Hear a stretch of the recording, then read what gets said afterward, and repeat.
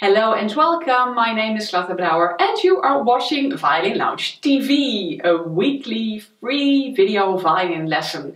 This lesson is about how to do vibrato on the violin. A lot of people are really desiring to learn vibrato because it makes your sound so much better and expressive.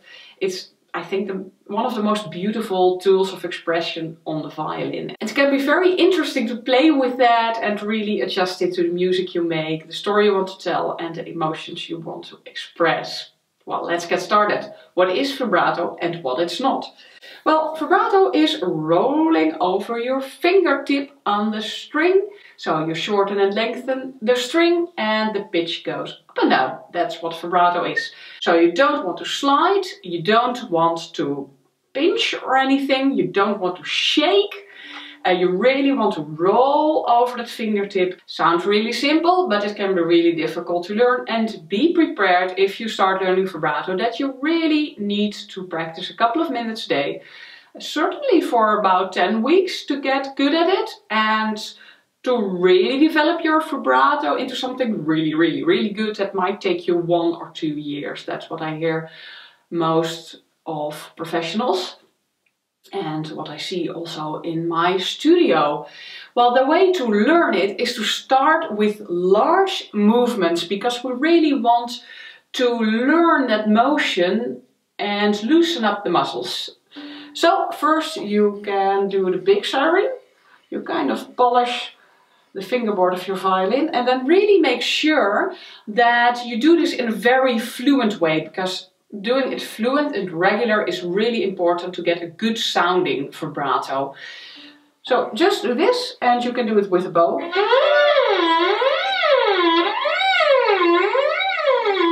And then you make that movement smaller and then you end up somewhere here. Because in learning vibrato it can be easy to have this support from the violin instead of doing it in the first position right away. So go from that larger movement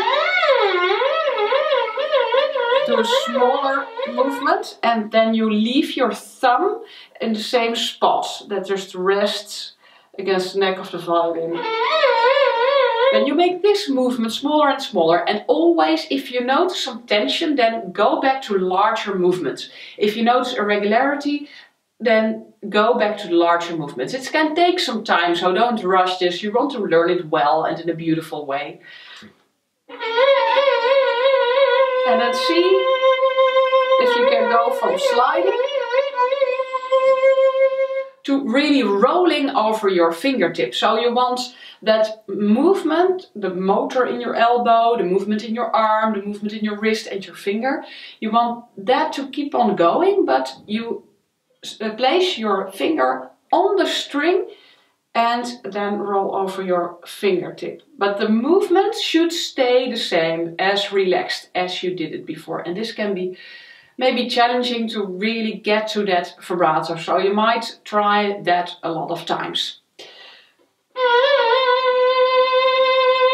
And you can also practice this like this. That might be easier for you to kind of explore the movements that you need to make. So you can practice this here. You can also practice it on the soundboard, that you do it like this. Make sure your nail doesn't scratch the varnish of your violin, of course.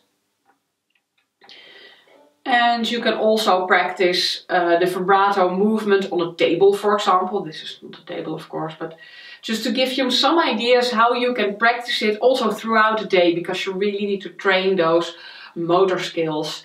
Then if you have a vibrato from time to time, then you really want to make it regular. Start practicing it at 60 beats per minute with a metronome and then four vibrato motions per beat. So something like one, two, three, four. So one, two,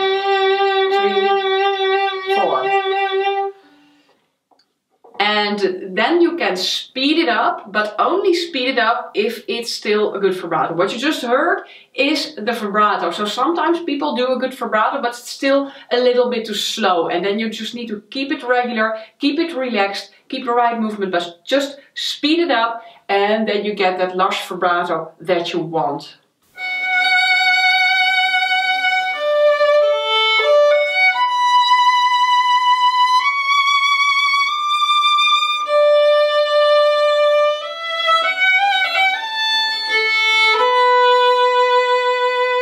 Let me know in the comments below how you are doing with your vibrato and if I can be of any help. If you want to learn more about vibrato and adjusting it to the emotion you want to express and the music you make, then join me in my free mini masterclass Learn a Beautiful Vibrato on the Violin. Then I'll explain in a more extensive video the four steps to beautiful vibrato and the four mistakes you really want to avoid. It includes an extensive video lesson and an ebook, so you can also read along and you know, look up the exercises afterwards, etc. So if you're interested, then go to violinlounge.com slash vibrato and let me know in the comments below if you signed up because I'm excited if people sign up for my stuff. and anyway, I hope to see you in a next video lesson. Good luck with your vibrato, enjoy your sound and bye bye.